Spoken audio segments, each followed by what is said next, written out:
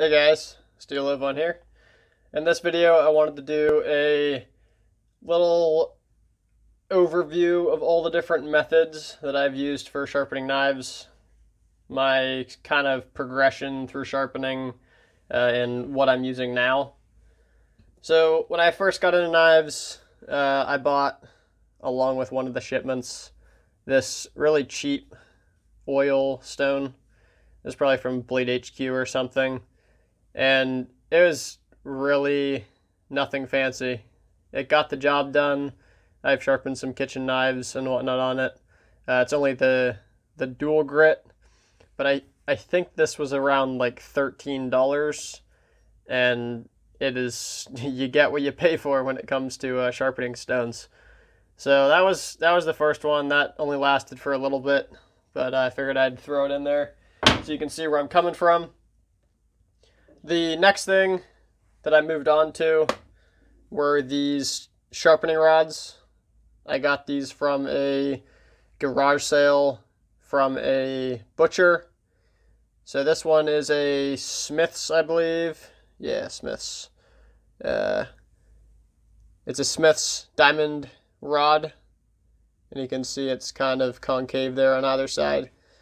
And this is a more aggressive rod and this is a stone sharpening rod, a honing rod. This one's much finer. And between the two of them, uh, they actually did a really good job on a bunch of kitchen knives and fixed blades.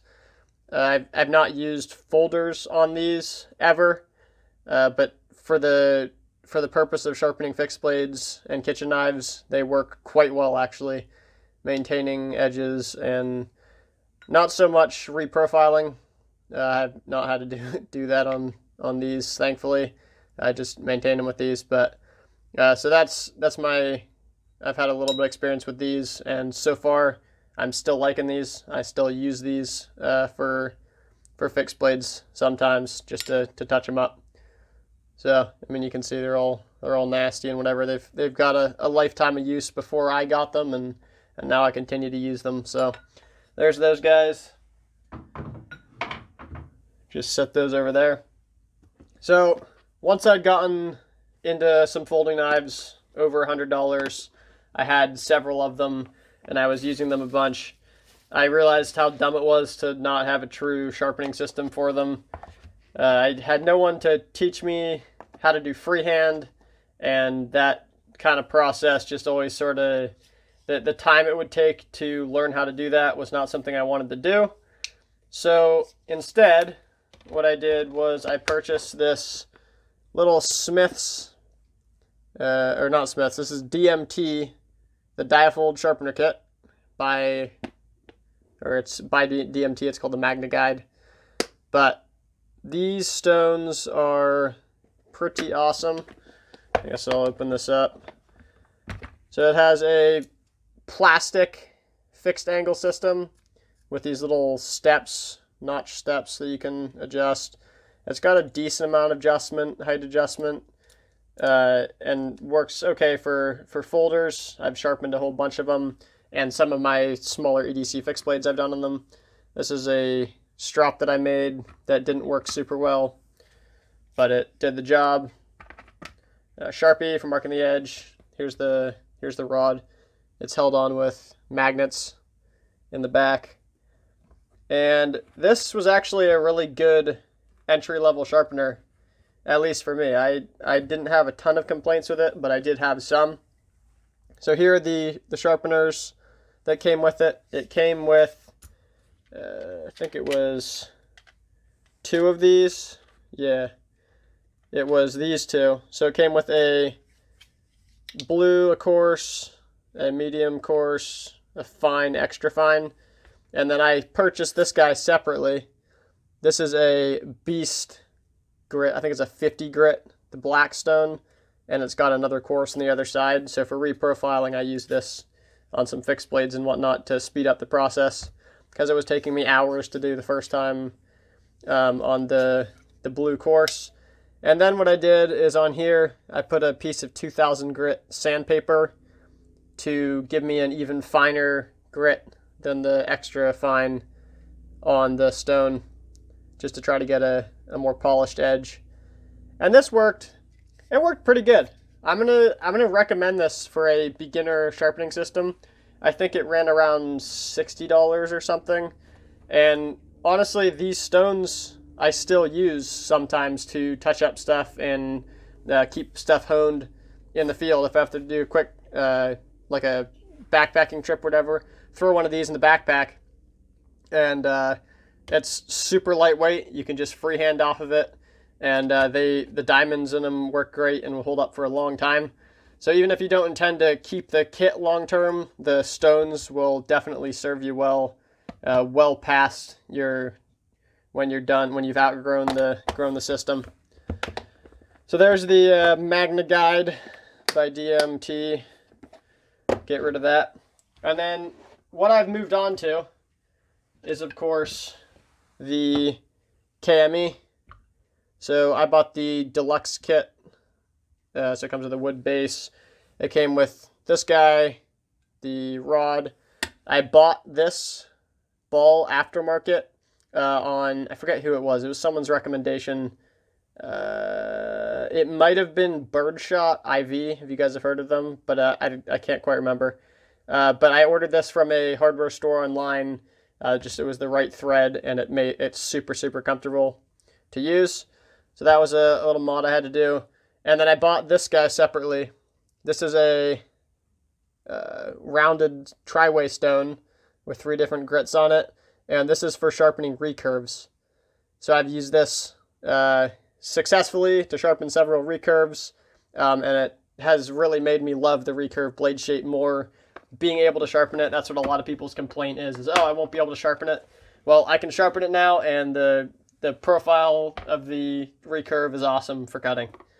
So then I guess I'll move these off here up to the top, and I'll get the whole, whole case in here to show you guys what's in here. So in here, that comes with a rag, sharpie, whatever. Uh, this, I'm not sure actually what this is. Some sort of guide. I've never had to use it. Uh, it comes with some honing oil, and this is the strop compound. It comes in different uh, micron numbers.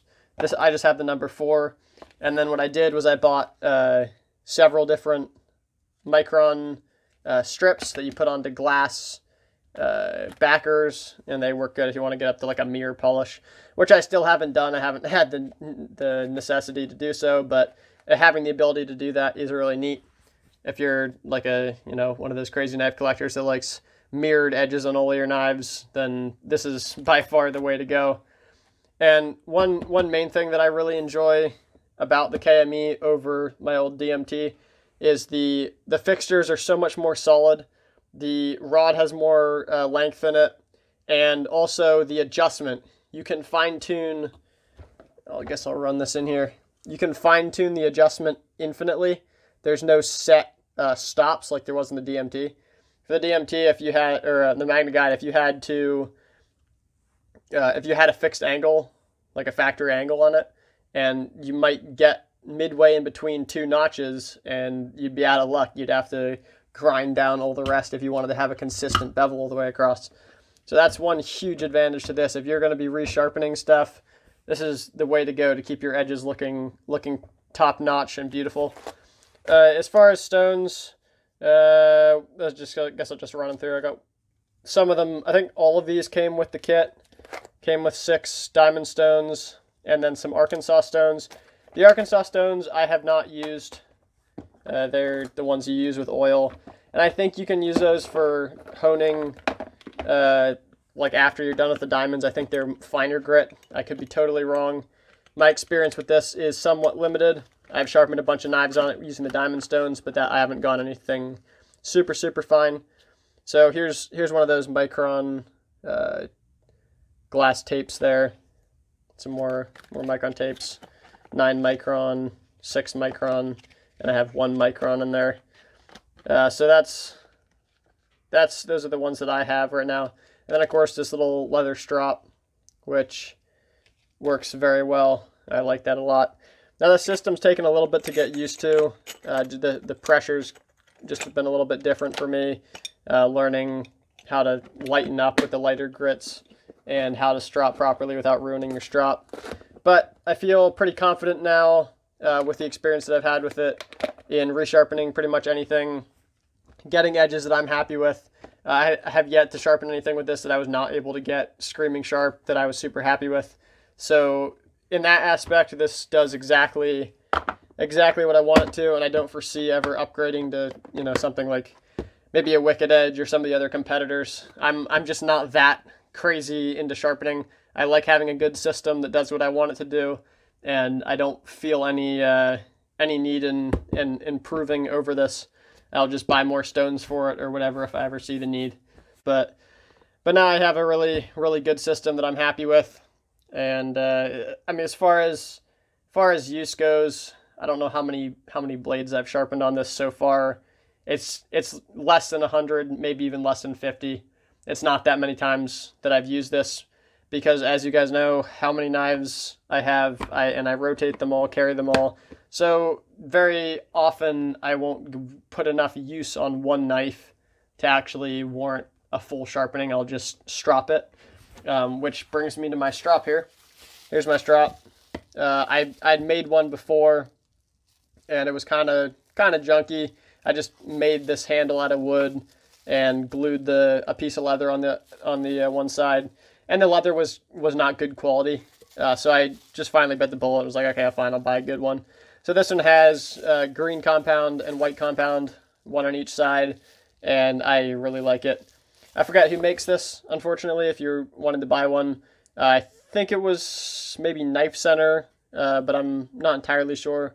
But this one's once again, it's it's done what I want it to, and uh, it works works much better than what I have, and I, I enjoy it. So I would recommend recommend this one, and I don't think this one was an arm and a leg uh, cost wise either. Now it's it's not a tri-way. You don't get a get a third stropping compound or whatever, but I I don't really care care about that personally. So I think that's the video. Uh, pretty much that was my super fast history lesson sharpening with Steel Ovan, and uh, hopefully I will uh, keep doing this. Maybe I'll make some more videos of it, and uh, we'll see how it goes moving forward. So hope you guys like the video, and I'll catch you in the next one.